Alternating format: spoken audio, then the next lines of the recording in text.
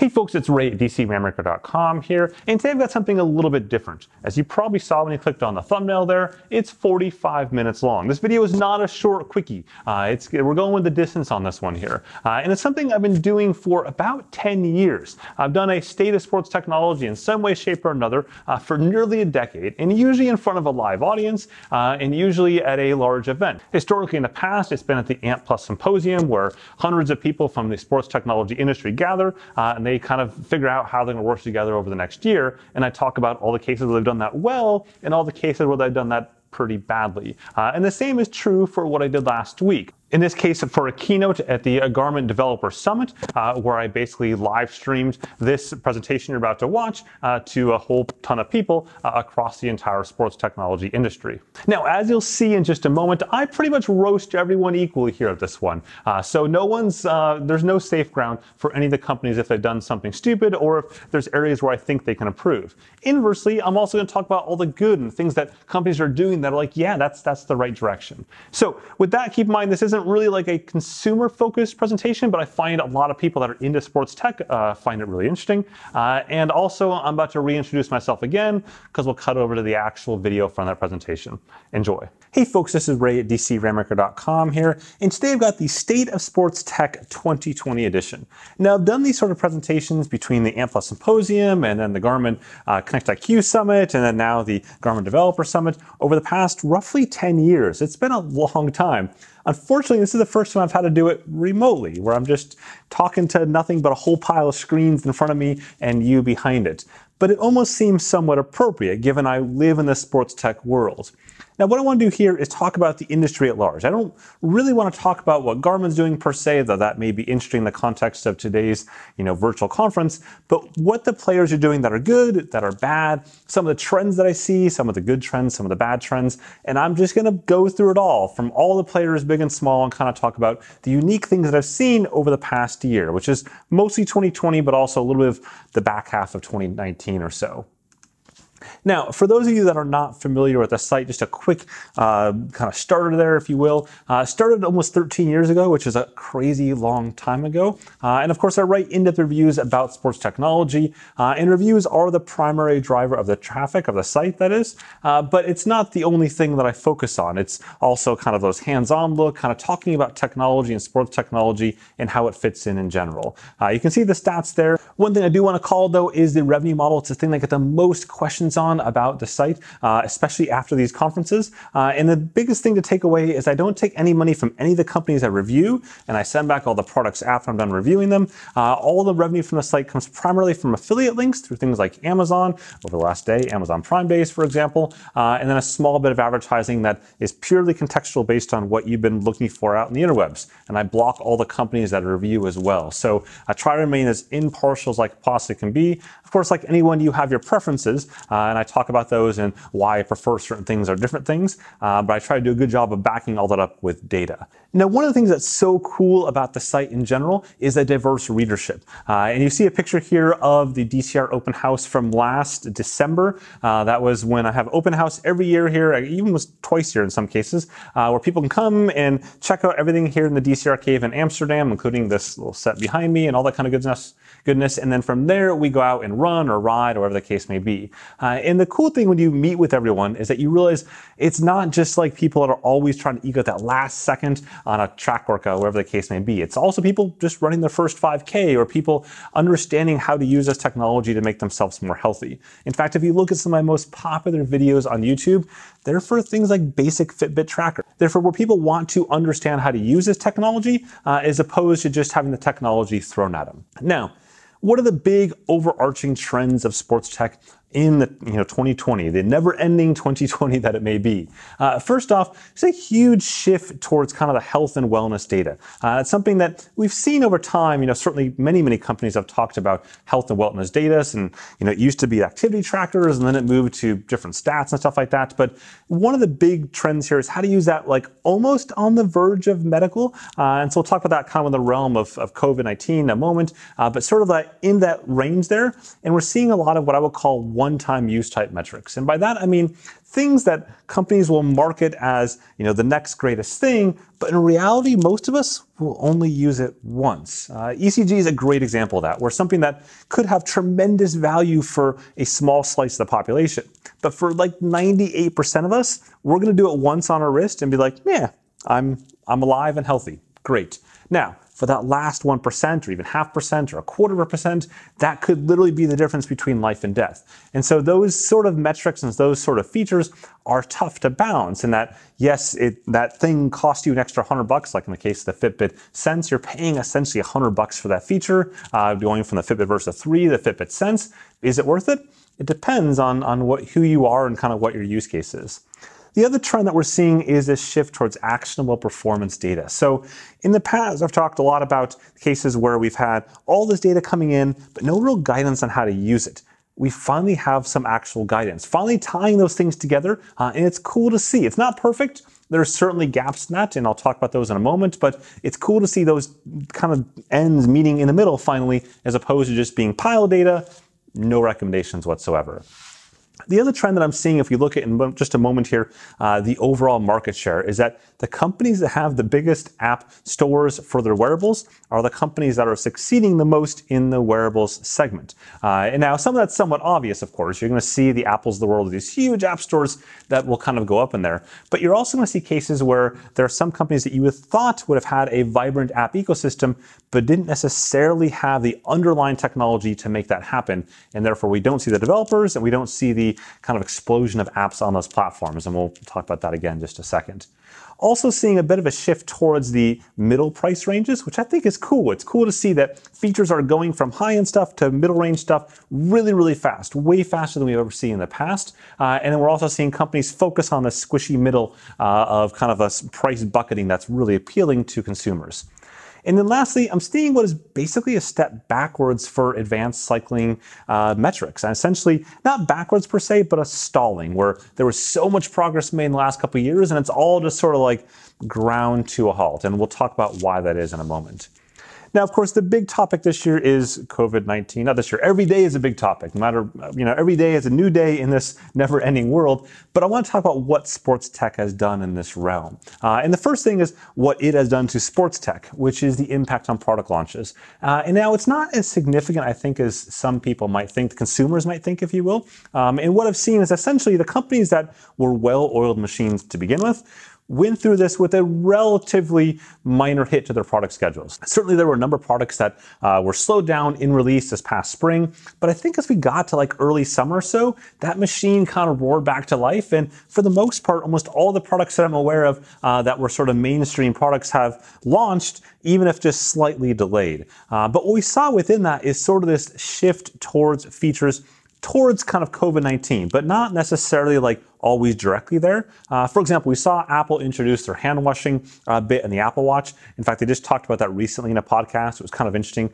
saying how that was something they spun up super, super quick, uh, and it's something that you know doesn't take like a bunch of medical approvals to do, but could have a truly big impact if you can get people to properly wash their hands uh, as opposed to just ignoring that. But with that, we've also seen companies connecting dots don't that don't exist. It's connecting dots and saying, oh, this metric over here means you have COVID or don't have COVID, or maybe you might have COVID, or maybe are asymptomatic symptomatic or it's all over the place. And so we have to be a little bit careful of making those ties because sometimes they simply don't exist or we don't know they exist yet. I think if we look back on this moment five years from now with all the data we have, I'm sure scientists will come up with some incredible insights based on the data we have today but down the road. But as of today, there's only a handful of metrics that people are kind of reliably pointing to and saying this might actually have an impact or might be a good way to predict things with a relatively high degree of certainty. Uh, and of course, the biggest impact, a positive one, I think, is the indoor trend or the trend towards indoor training. Uh, and that's something that we've seen these platforms surge like 300% plus in just the first few months of uh, the year in that spring time frame there when everybody was kind of locked down.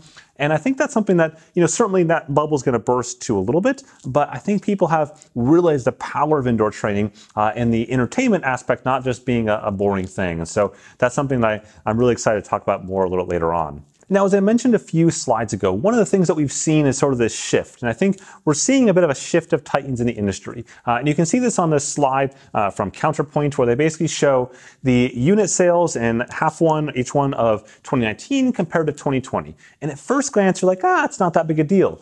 And of course, you see Apple's now the massive, you know, the market share primarily of wearables, in particular smartwatches in this particular case. Uh, and you see the shift though, where Garmin has gone from being, you know, smaller in that range, uh, basically number three, up to number two. Uh, you see Huawei increasing market share, and you see essentially the bigger companies are getting bigger and the smaller companies are getting smaller. So that even that share, though, of the smaller companies, effectively the everyone else bucket, the cats and dogs bucket, um, is decreasing. You see, in 2019, it was 19% of the market, and now it's only 11% of the market whereas those other larger players have expanded. However, anytime you see those sort of slides, you need to take a step back and look at the data underneath it. In this particular case, that report from uh, Counterpoint Research, while fascinating, had this little chart below on the left there, which showed the breakout of the most popular SKUs bought uh, in uh, 2020 at this point. Uh, and so you see numbered one through five. And number one, Apple Watch Series 5, that made sense. Of course, you know, just before Apple Watch Series 6 was announced. Number two, Apple Watch Series 3 made total sense. Number three, Huawei Watch G2, uh, GT2. Yeah, I, I can kind of get that. Uh, number four, Galaxy Watch Active 2. Sure, I, I can get that too. And number five, the the what? Wait, hold on. What is that? imoo Z3 4G. You've never heard of that. I never heard that until I saw this particular um, image there. And I said to myself, what the what the, it is this thing? So I went on to YouTube and I just looked at there, and I find YouTube is a fascinating way to judge whether or not something is true or not from a, a product popularity standpoint. Uh, and I put that in the search there, and you can see the results if you zoom in or something on a screen. But what you really have to know from those that side, that page of the half of the page there, is the fact that there's virtually no content on this in any high ranking content. Uh, so you can see the top result there is only, you know, five and a half thousand views. There's one for 300,000 views, uh, one for 1.9 million, but not really the same product. Uh, another one down below for a couple thousand views. For something that's number five on the list for number of units shipped, how does it have almost no content out there in the web? Doesn't really align. So sometimes you got to look at these stats and take a step back and realize that they don't necessarily represent the market share you're looking at. Uh, so in the case of the Huawei uh, watch, the GT2, that sells incredibly well in certain pockets of Asia, namely China, um, but has very low sales outside of that. I see, for example, myself, literally zero requests for a review of that watch, none. Whereas the Galaxy Watch Active 2, plenty of requests for that, and I've got you know review content out there for that, and the same with uh, the two Apple Watches there. So that's something you want to look at when you're looking at these sort of industry analyst type numbers, is to do a bit of a reality check and make sure that that actually matches what you would think. Now, one of the cool things we've seen is this normalization across companies of features. And I showed this slide uh, a year and a half ago at the first Connect IQ Summit or second Connect IQ Summit.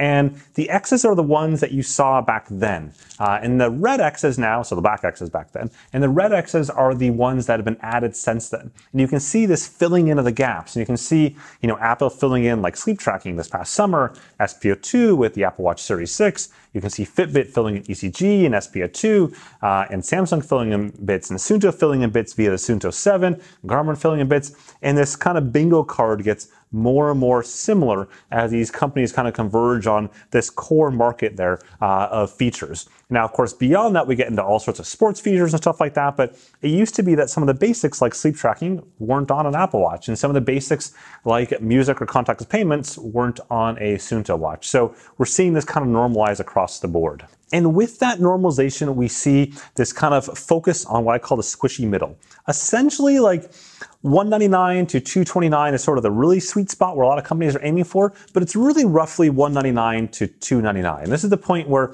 it's always been attractive in the in the wearable world. We've seen uh, Polar and Suunto especially target that area. We've seen Garmin in the last couple years target that more with the you know Vivo Active 3 kind of realm there, uh, the Vivo Active series at large. Uh, but now we're seeing it more and more, and we're seeing Apple paying attention to it. And so the Apple is essentially defined that base bottom tier at 169 with the Apple Watch Series 3, and then now more recently with the 279 Apple Watch SE. Now, at first glance, you may say that's probably a bad thing for competition, but I actually don't think it is. I think it's causing the rest of the market to pay attention to that price point and drive more features into that price point. Uh, so while people will focus on the Apple Watch SE, everyone else can focus on all the features they can bring at that price point or slightly below it or slightly above it. And we're seeing that from Garmin, we're seeing that from Polar, we're seeing that from even Fitbit uh, with the Fitbit Versa 3 at 229, for example. And I think that's good for consumers, even if there's just a lot of focus in general on Apple, there's also a lot of benefits that Apple's bringing along with that for focus on this price point and options and opportunities at this price point for consumers to pick up that uh, have just more features than they would have in the past. Now, with that, one of the things I've seen in the last year, especially, is the realization that screens matter. And this is primarily a realization from uh, the Garmin and the Polar and the Suuntos of the world uh, that people want good screens. Like it's not just big screens, but pretty screens. And you know, you can bucketize this into different technologies like AMOLED and LED and all sorts of things. But at the end of the day, people want pretty screens. And it's simple as that. And here are some comments that I just quickly grabbed from YouTube just by typing a couple keywords in on reviews I've had over the last uh, while. And you can see there's a focus on having pretty screen. People are, are sick of non-pretty screen and it's driving how people in their purchasing decisions. And I think the cool thing though is that technology is finally catching up to that. Uh, we're seeing that with something like the Venu SQ or the uh, Venu last year, for example, or Fitbit's, uh, you know, Sense or Versa 3, and of course Samsung as well. I mean, there's tons of players in this market that are producing pretty watches that have more features and have longer battery life than they have in the past. And I think as we go into 2021, or the never ending 2020, however we want to define it, uh, we're going to see that trend continue more. And I think eventually we get to the point where some of the watches that we consider like the hardcore endurance watches that can never have a pretty screen might actually have a pretty screen. And you might actually like it because you realize that you know, for 99% of the time, or even 100% of your time, you don't really need GPS battery life of 60 hours. Uh, yes, there's a, a, section of the market that will need that, um, and that may be a small section, but I think there is some compromise to be had there where we can get these nicer screens onto these endurance devices uh, and start taking advantage of that uh, for the vast majority of the market, which again, I think is like 98 to 99% of the market does not need to run continuously for 40 hours. And for that last little bit, I think there's ways that with screen technology and changes that you can go ahead and get to cover those use cases when they do pop up here and there.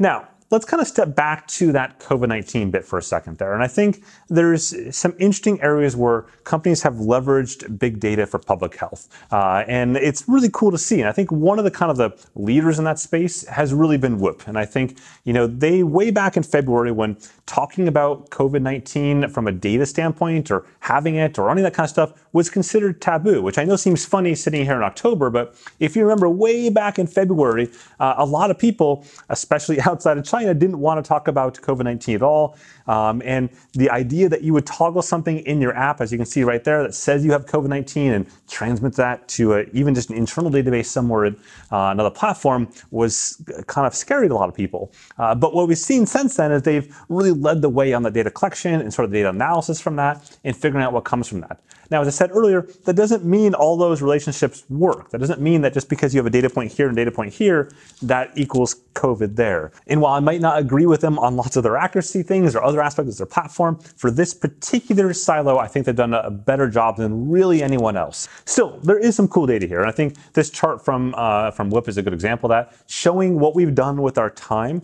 uh, once you get into lockdown effectively and showing that people get more sleep. And another one that has very similar to that shows that resting heart rates uh, drop in a good way. They get lower, if you will. So um, there is some super interesting data. As I mentioned earlier, I think you know, three to five years from now, being able to look back at all these data sets uh, will be incredible for scientists to look at that data and figure out all these patterns that they didn't know exist, and then hopefully down the road use that data uh, to lessen the impact of another pandemic or lessen the likelihood that a pandemic occurs.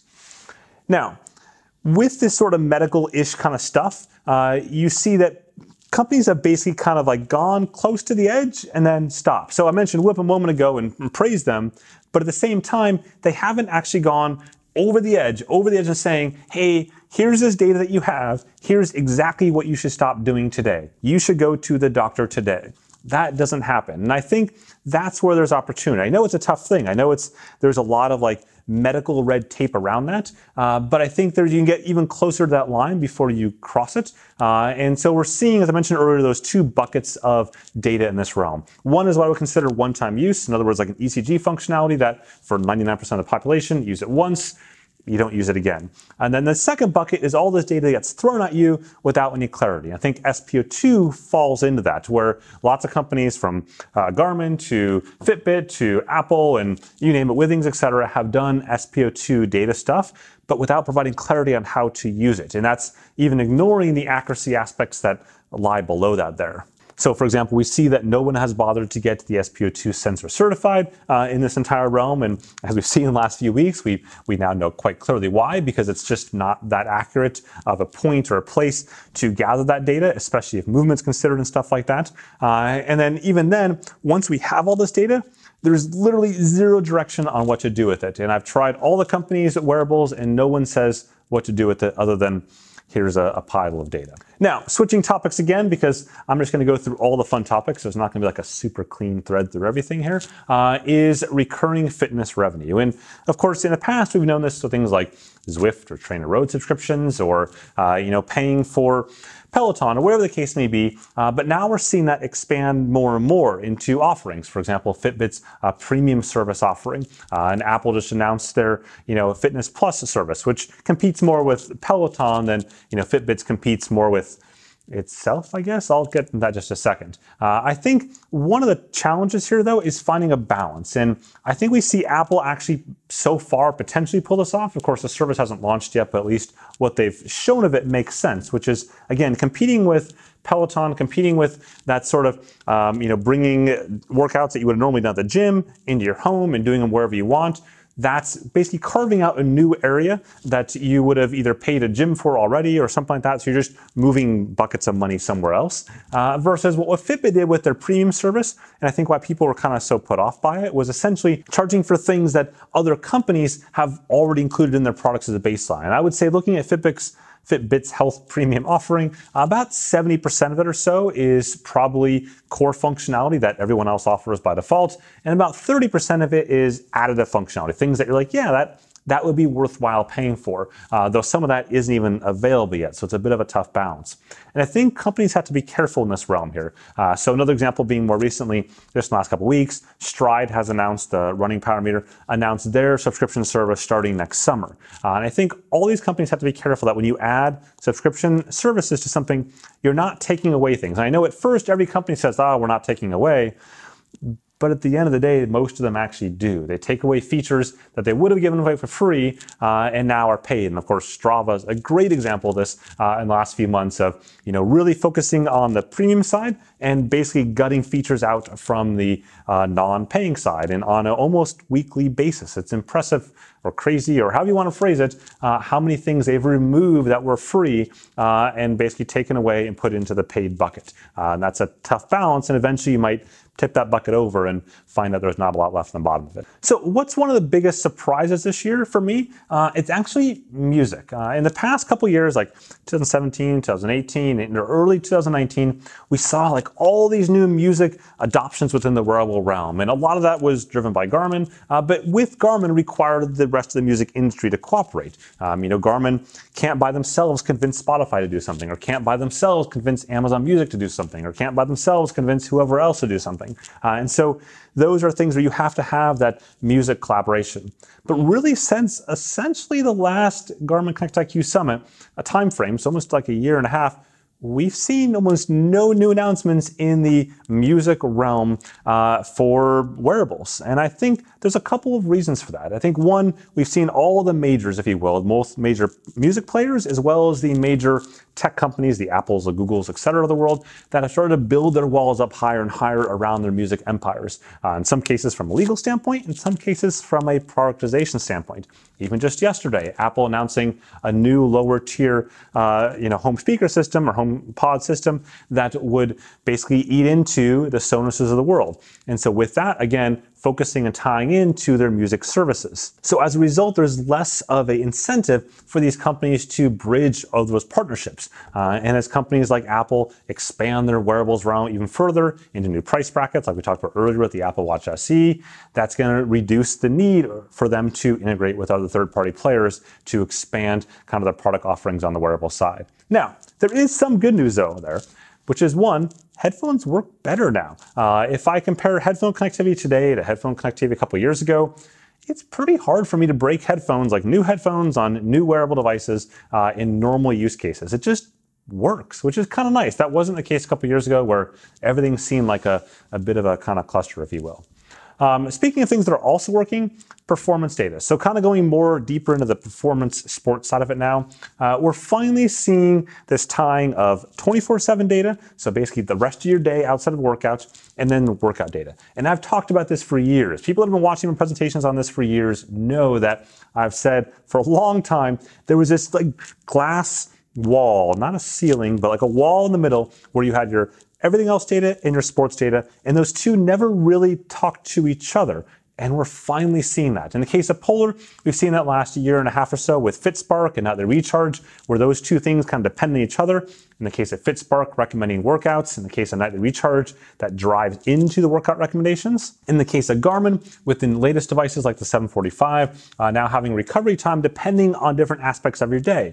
If you have better sleep, it speeds up your recovery time uh, estimates for the next day. If you have less stress, it helps you on the recovery time. If you have more stress, it hurts you in recovery time. And also the ability to pause training status for kind of general life events. These are all things that just make so much sense, but just simply haven't happened today. Yet. Another example is what Whoop's done around sort of the visualization of that data. I've talked a lot about Whoop so far in the presentation, uh, which is somewhat funny because if you follow my stuff, you know that I wouldn't recommend buying a Whoop strap at all, um, primarily because of the accuracy. And so that's a case where they have this tremendous presentation of data that's so, so well done once you start to understand it, anyways, uh, and how things, you know, one thing impacts another thing in your day to day kind of sports, recovery, life sort of realm, uh, all from optical heart rate sensor and related data on your wrist. Um, the challenge with that, as we see, and this impacts really everyone, is that when your accuracy of the underlying base data is incorrect, the entire house of cards falls apart.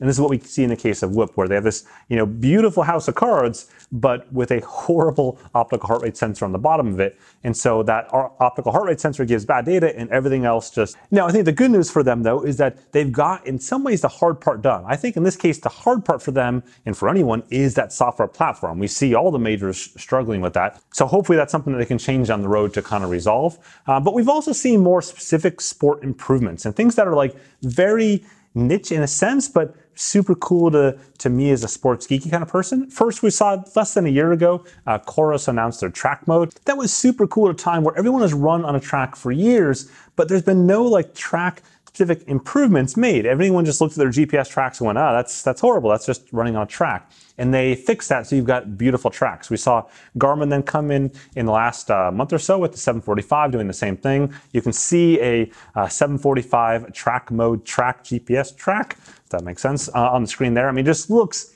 perfect. It like makes me excited to go to the track just to make a perfect circle, which is somewhat silly. We also saw Suunto, for example, add a safe data page to their watch, essentially a data page with coordinates, but also the distance for how far you were to begin with. So you know, in some cases, you may need to be rescued off the side of the mountain, and those coordinates help your uh, rescuers get exactly to you in the fastest possible way.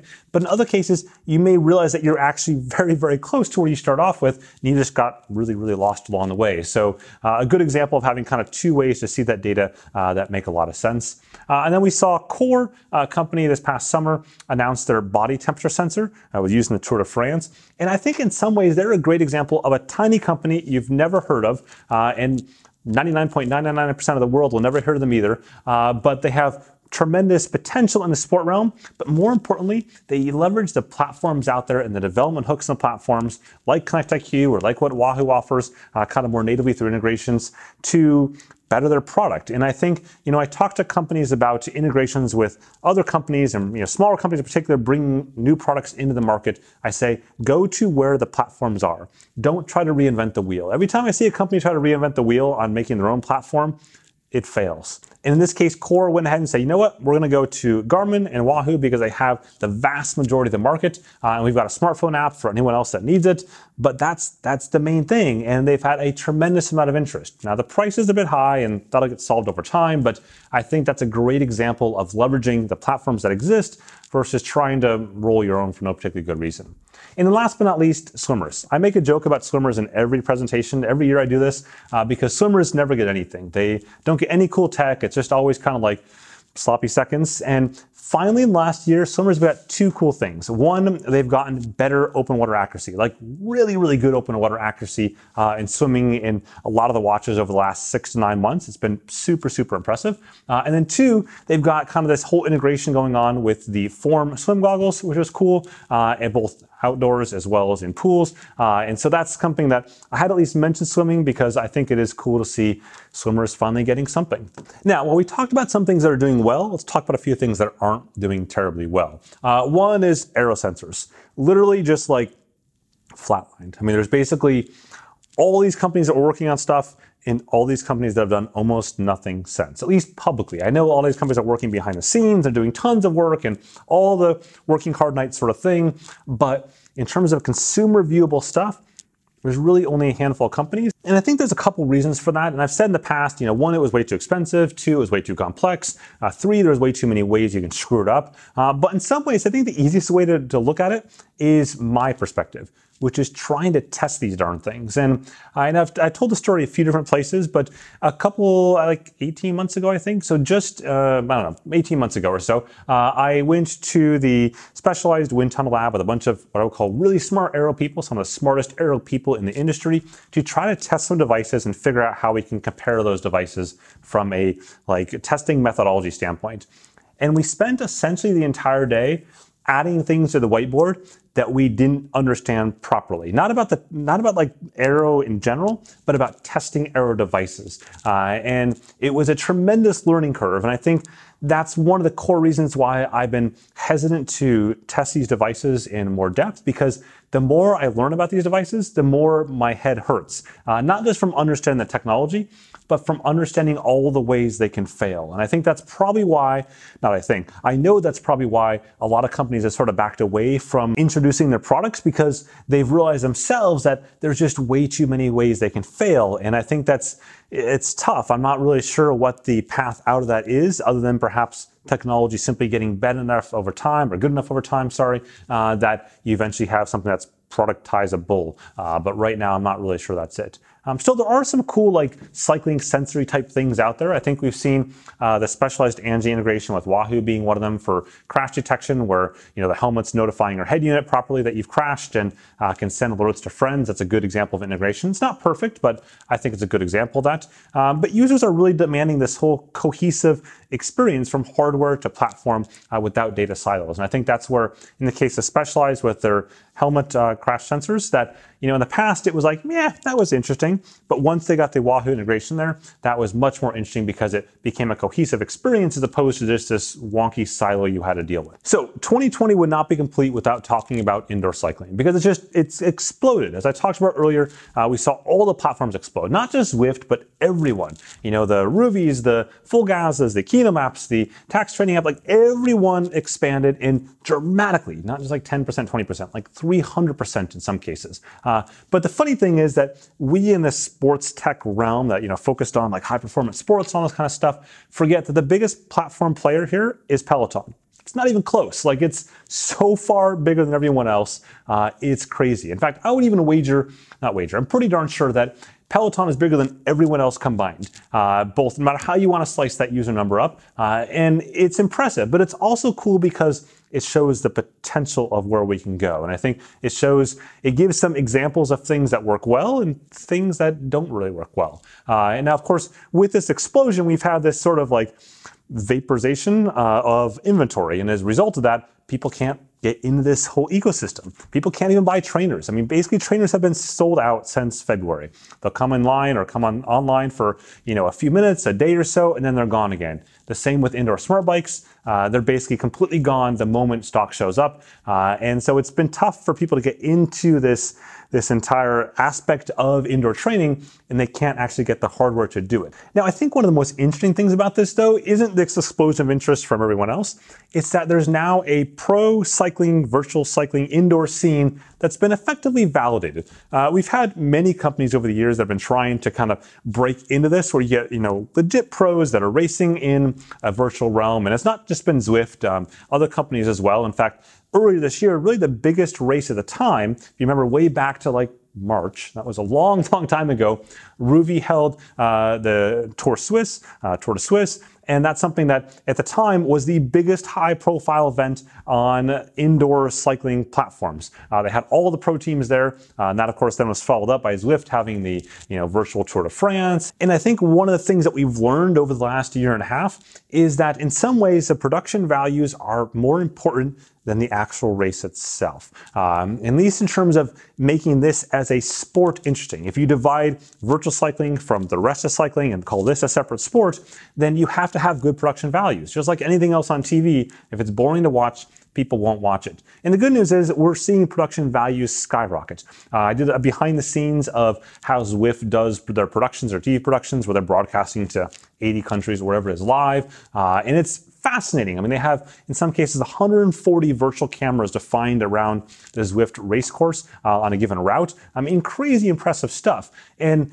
every single production they do, week by week, gets better and better with each new event series they deal with. Uh, and I think it's going to be amazing to look back uh, on this a year from now, just like it is amazing to look now compared to a year ago. It's not even the same level. It's not even the same realm anymore. It's super cool. Still, I worry about a couple things. I know there's UCI Worlds coming up later on this year on, on Zwift, um, so in, you know indoor cycling platform, but I'm worried that the bottom's all going to fall out of this. And I think this is probably the biggest area of bubbleliciousness, if you will, uh, in everything that I've talked about, in that the entire indoor cycling scene right now is predicated on people not riding out outdoors. Uh, once people ride outdoors, there's zero reason to do legit racing indoors aside from fun, like kind of specialty creative events. But in terms of main major events, the pro cycling calendar just doesn't work like that. It's got things that fill the entire year, save for the time that's set aside for those athletes to recover for a couple months. So they're not going to be able to squeeze in another indoor race somewhere else. Or maybe if they will, it'll be like a one off, but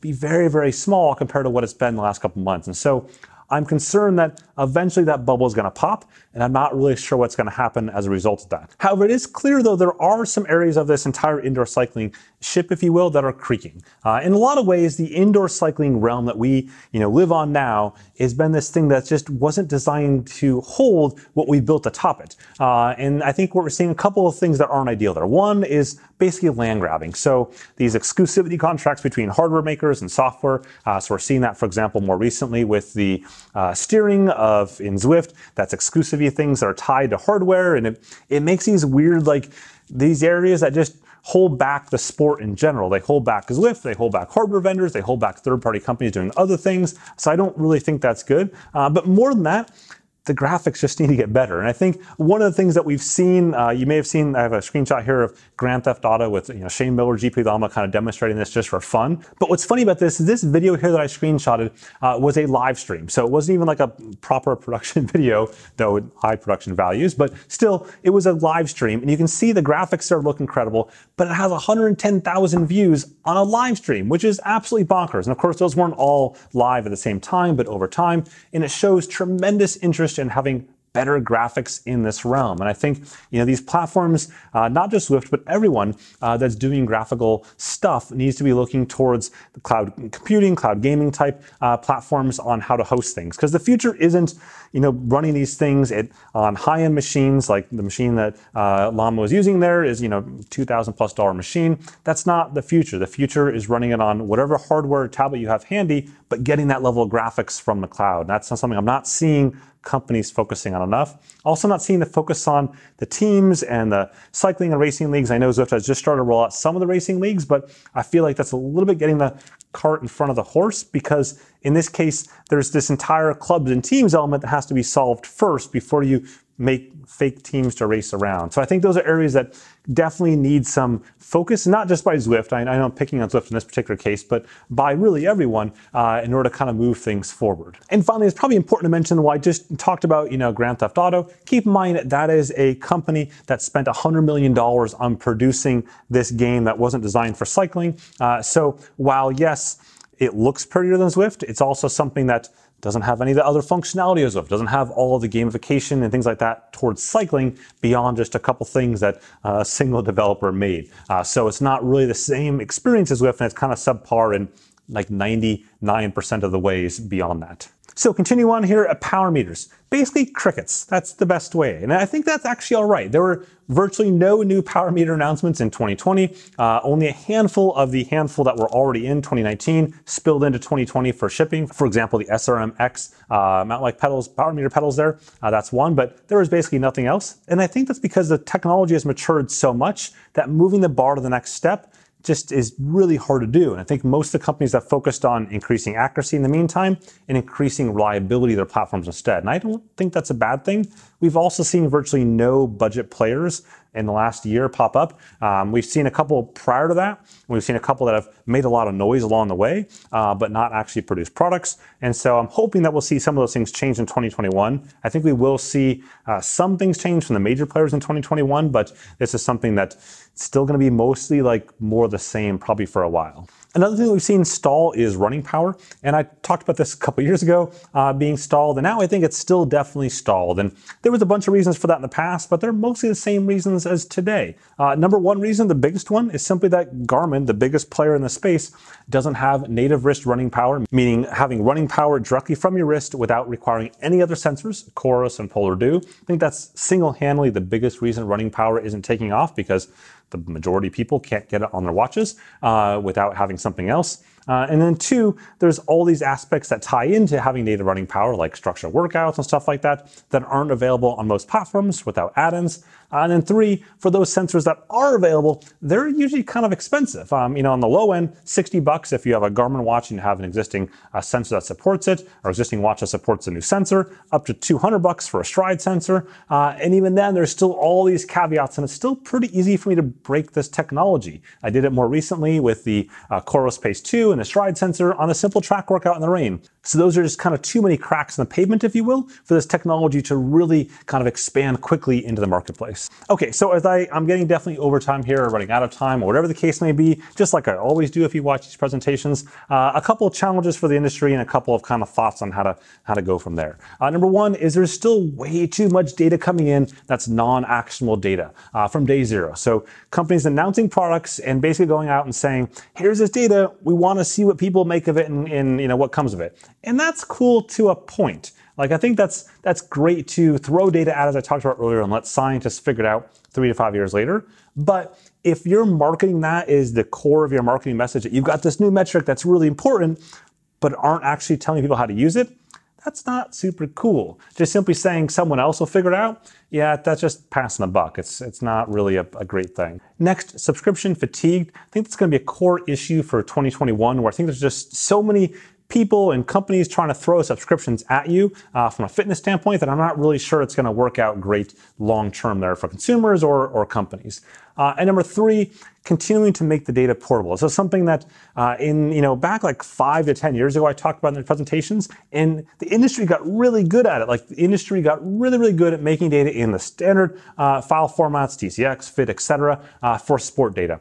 But now we have all these new data types like SpO2 and ECG and et cetera, but no containers that are industry agreed upon for how consumers can trade that data between platforms. And so we've got all this new data in zero integration or uh, compatibility or portability of that across platforms. And I think that's kind of a bummer. We've gone from so, so good to not at all good anymore. So that's that's something I'm hoping that uh, the industry can resolve. So I think going forward into 2021, some of the biggest opportunities are giving clear guidance, clear recommendations, uh, and not shying away from recommendations, not shying away from uh, providing insight into how someone should be using that if you're right like 98% of the time and it's not life threatening, I think, you know, being wrong for 2% of the users is all right in some cases if it's benefiting the vast majority of people. Uh, again, you shouldn't have like bad recommendations all the time, but I think stepping out, out of that box and saying this is probably the right way to address this issue is, is a good thing. I think that's what the point of having technology there to enable uh, kind of us from a digital athlete standpoint. Uh, and then two, finding the right niche. I think I see too many companies sometimes trying to boil the ocean. Find the right niche and find how you can integrate with your users. And obviously, this is a developer conference, and so that's kind of like a, a core goal here. Uh, but leverage those platforms. Don't try to build your own platforms to boil the ocean. On top of that, leverage what's always there. And then last but not least, as I always say, I think in general, if you simply just make cool shit, people will buy it. It's as simple as that. People will clamor towards your products when you make cool stuff, uh, and they'll want to buy it, and they'll want to buy the next version, and they'll want to support you as a company. So with that, I will call it the end as I'm slowly losing my voice here. It's the longest I've talked straight in a while. Uh, I appreciate the time of watching this, and hopefully you found it interesting and useful, whatever the case may be. Uh, and I look forward to maybe next year being able to present in person somewhere uh, back when life has hopefully normalized just a little bit more.